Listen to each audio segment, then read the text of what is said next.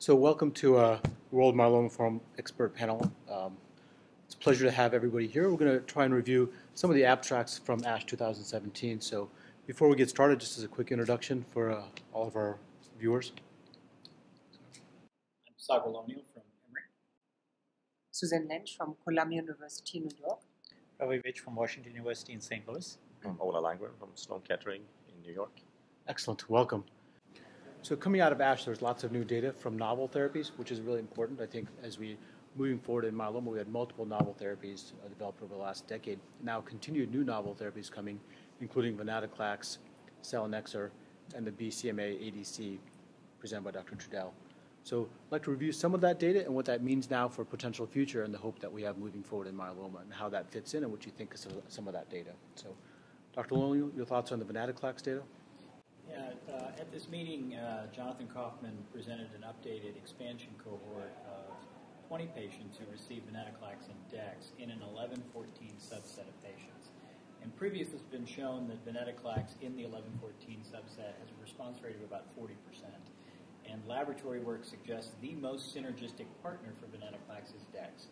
Uh, and so based on that, this expansion cohort was enrolled. It looks like the response rate for venetoclax dex in the 11-14 subset is close to 70%, which really speaks to the power of that biology that we talked about before, as well as the synergy between these two agents. No tumor lysis was seen in terms of a clinical tumor lysis, uh, and there were some pretty advanced patients that were in that because there is a ramp-up dosing going up to a total dose of 800 milligrams. But you know, this has become a really important, almost first salvage for some of those 11-14 patients that we see uh, based on this really exciting data. And the durability on those patients? I know some nice response rates, and are those patients remaining on therapy? Yeah, they are. I mean, it's too early to know the, the PFS right now because, sure. again, it's a relatively short follow-up. Uh, but, you know, I think it's important to remember the 11-14 subset of patients used to be considered good risk. Yep. And they've now moved to intermediate based on the fact that all the other groups of patients have passed them by with all the new drugs that we have the 11-14s have sort of been left behind, and this may be a way to bring them, to catch them back up. I found uh, the presentation from Suzanne Trudel yesterday evening very interesting. Um, she used um, in her clinical trial um, an antibody against BCMA. I think it's a very interesting concept. So, in addition to bispecific antibodies or CAR T cells, BCMA might also be a target for antibodies that are conjugated to certain medications. In her case, she conjugated um, the BCMA antibody to a microtubule disrupting agent, so a direct cytotoxic, cytotoxic agent, presented data on 35 patients, heavily pretreated patients, and a response rate of 60%. Um, I found the data very intriguing. Again, it, it opens up the new area of immunotherapy with using certain antigens on myeloma cells uh, for different purposes, such as CAR T cells, BiTE cells, or antibodies uh, di- directly coupled with toxic agents. Yeah, I agree. I think that if you can get off an off-the-shelf product to target BCMA, it becomes logistically much more easier.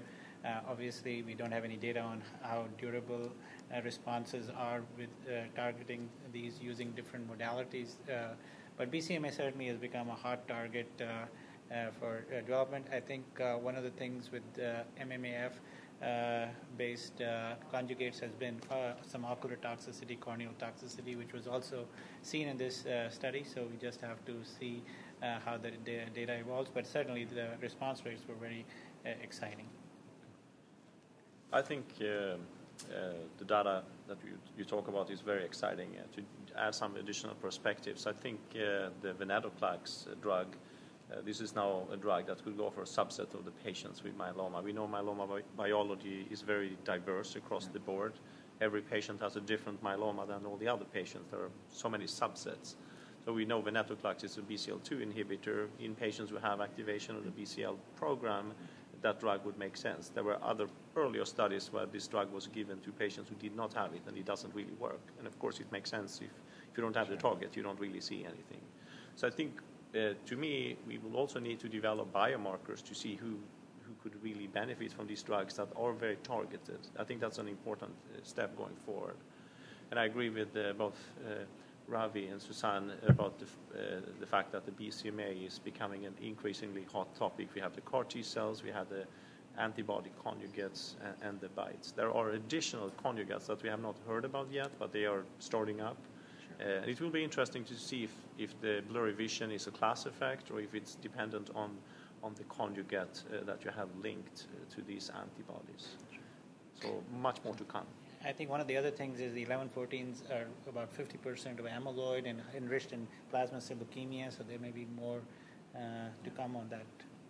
So two additional questions out of this. One is um, your experience with selinexor, and that was the other novel therapy that was presented with the STOMP data, looking at selinexor in combination with lenalidomide, pomalidomide, and daratumumab.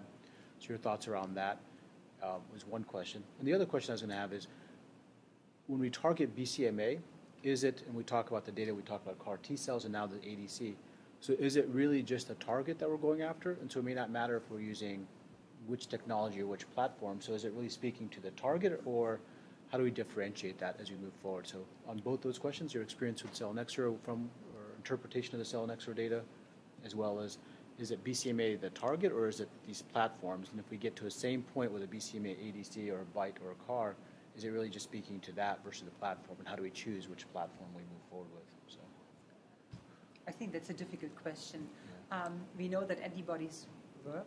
We know that daratumumab is very effective, but we also know that CD38 as a target is downregulated pretty fast after you start daratumumab treatment.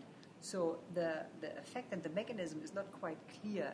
You could hypothesize once you lose your target, the antibody should not work, but that's not the case. So in terms of BCMA, there are a lot of open questions. I think BCMA is a very nice target because it's very unique for myeloma cells, and there's a question whether we could even use this for MRD testing because it's uniquely expressed on myeloma cells, and there are publications that show if you have high BCMA expression, you have a poorer prognosis. So I, I, don't think that we can clearly kind of, you know, have an answer as of now. Sure. Uh, I think it's a very attractive target. That's, that's all what I can say. And there are a lot of other evolving targets. So there are SLAMF6 antibody conjugates. So that would partly answer the question whether it's beneficial to have one target over the other. There are also CD38 uh, antibody conjugates coming, and uh, there are BiTEs that go for BCMA and CD3. There are BiTEs for CD38 and CD3 coming. So it has just started this whole race, and I think we will learn much more in the coming 24 months or something like that. And I think that uh, targeting the same antigen by different modalities may lead to different consequences in terms of durability. I think uh, if you look at the ALL data, uh, the uh, where we have both uh, CAR T cell and uh, BiTE uh, approved, it appears that the BiTE works better for the uh, when the disease is debulked. Uh, and doesn't usually work very well, at least not long term, for more bulky disease, whereas the CAR Ts do. So we'll have to see. Yeah, I think, you know, um, I agree. I think BCMA is a target, and yeah. we may use different strategies depending upon what, what, where the patient is in their disease course. Sure. Maybe different up front than it is in relapse. I think the other agent that sort of struck me at this, and we've been hearing about this for a while, is the use of selinexor, the, the, the, the nuclear transport expo inhibitor. Uh, which I think is really interesting because it does have single agent activity and partners nicely with dexamethasone but the combination therapy is what we really saw in the STOMP trial. Um, and I was really struck with the ability to potentially overcome drug resistance through combinations, particularly with proteasome inhibitors, but also in combination with IMiDs like lenalidomide. I think that it is a, conceptually also a very interesting target uh, that a lot of the uh, tumor suppressors use this nuclear transport XPO1 to uh, get out of the nucleus and keeping the nuclear, uh, the suppressors within the nucleus may at least theoretically uh, be advantageous. And what I found was that uh, it appears that the once weekly dose is better tolerated in terms of the GI toxicity.